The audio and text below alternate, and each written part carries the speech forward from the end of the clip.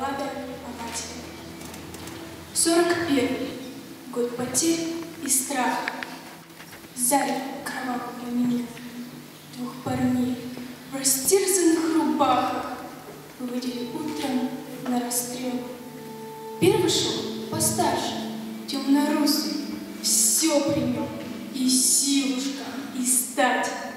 А за ним второй, пацан безусый, слишком юный, чтобы умирать.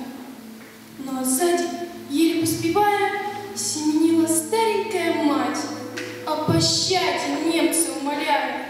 «Най!» — твердил он важно. «Расстреляй!»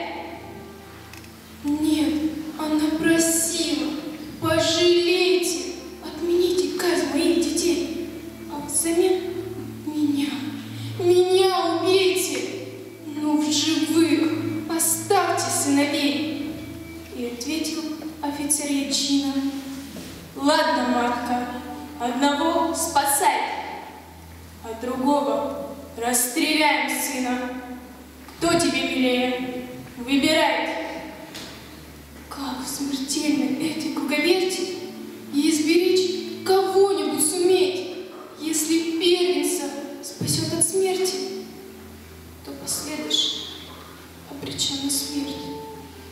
Зарыдала мать, запричитала, вглядываясь в лица сыновей, будто бы и вправду выбирала, кто роднее, кто дороже ей.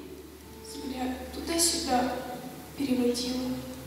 Ох, не пожелаешь и врагу мук таких.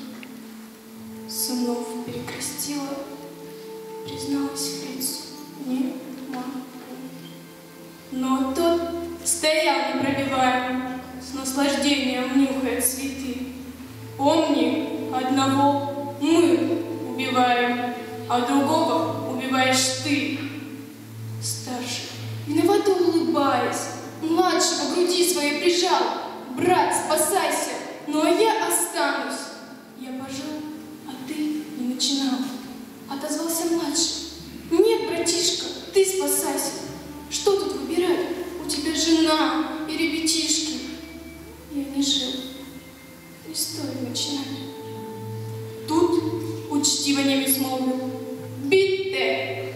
Отодвинул плачущую мать, отошел подальше деловито и махнул перчаткой. Расстреляй!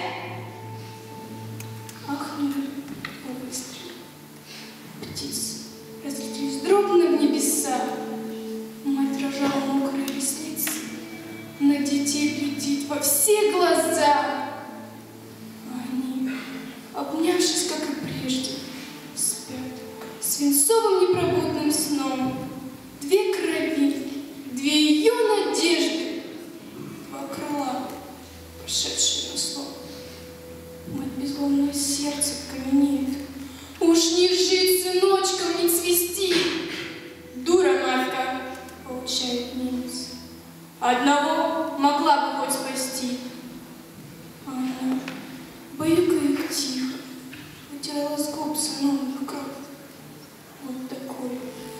убийстве великой. Может быть, у матери. Любовь.